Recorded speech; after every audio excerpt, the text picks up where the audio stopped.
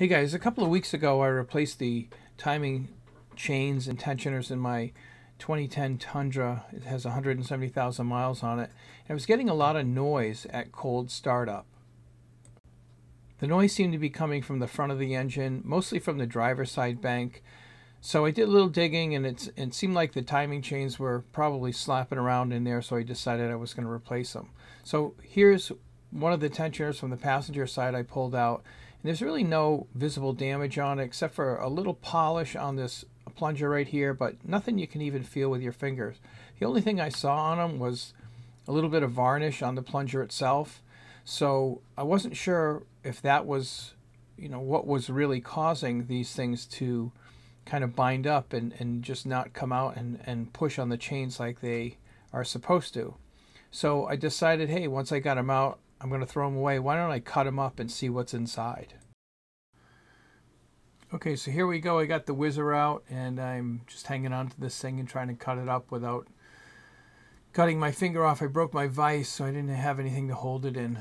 So just trying to cut it back uh, without hitting the piston to see if I can maybe get this thing opened up and see what's inside and, and maybe um, find some coked up oil or some debris in there to uh, that forced it from uh, pushing out. So here we go. I got it cut open. There's a spring in this guy and a plunger, and that's pretty much it. Here you can see I've got the uh, lower half of it.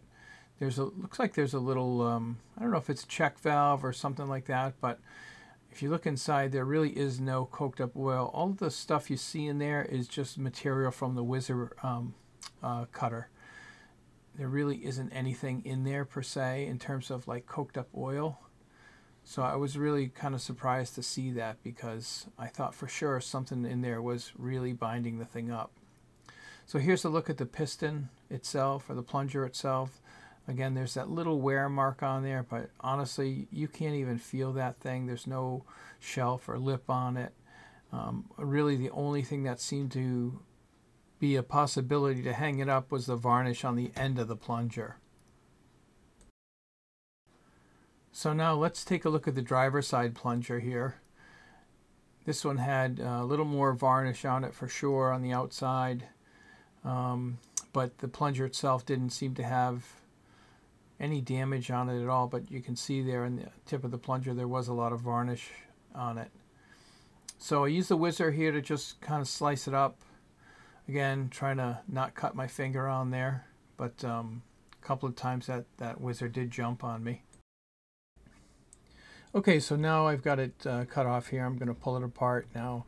I see a little bit of debris on here. It looks kind of like coked up oil, but I, I think it's mostly just debris from the whizzer wheel um, coming apart because I, I kind of scraped some of it out and it, it just didn't look like coked up oil. It looked like fresh whizzer wheel. So um, I was kind of surprised not to see like a whole bunch of coked up oil in there. I was just kind of surprised.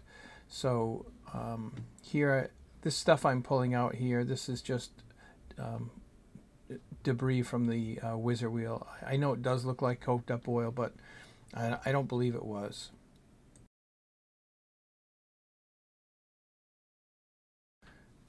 Now this thing was a, a, piston inside a piston and it had a little check ball in there. So I think this thing is made to take oil in and then have a kind of a check valve in there to keep the oil in the plunger so when you shut the thing off it doesn't all drain back. So here I'm taking this thing apart and you can see there's a little uh, cap on it and a little ball uh, bearing and a spot for that bearing to sit in. So it does look like it's some kind of a check valve or something, but the piston itself, um, I did pull it out here, and the piston itself just doesn't seem to have any real varnish on it. It's a very, very small amount, and it's mostly on the outside. So um, I'm curious as to how it would stick or why it would stick.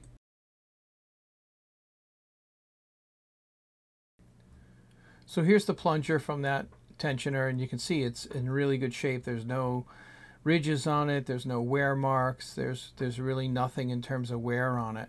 So I, I was kind of curious as to as to what was causing this thing to hang because it seems like um, it was happening more and more, and, and um, it's happened to a lot of people. So I started to think about it a little bit and then started doing a little bit of math and maybe have an answer. So the question is, how much pressure do you think this tensioner puts on the uh, timing chain? Do you think this thing pushes out at like 20 pounds, 50 pounds, 60 pounds, 80 pounds? What do you think it is? Put your answer in the comments. So after doing the math, I was kind of surprised at how much force this thing puts out. So let's go through the math right here. So to calculate force, it's pressure times area. And how much oil pressure do you think the Tundra has? I, I couldn't find a number um, online. You know, the, the gauge is just a gauge, but I, and I don't have a, a pressure gauge on mine. So uh, it could be anywhere from 30 to 50 to 65 pounds at the max, but let's say uh, for our example, let's use uh, 45 pounds, okay? So to calculate the area, area is pi r squared. So the plunger diameter is 0.625 inches. So the radius of that plunger is half of the diameter. So that's 0.3125. So if you square 0.3125, that's 0.09765 la la la times pi, which is 3.14. So that gives you uh, 0.3066. So 0.3066 times 45 psi is only 13.79 pounds. That's really not that much pressure.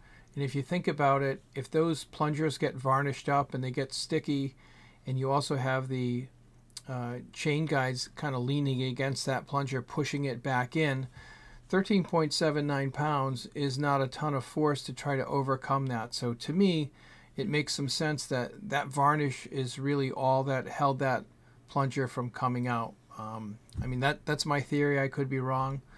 What do you guys think? Leave a comment in there and let me know what you think. Thanks for watching.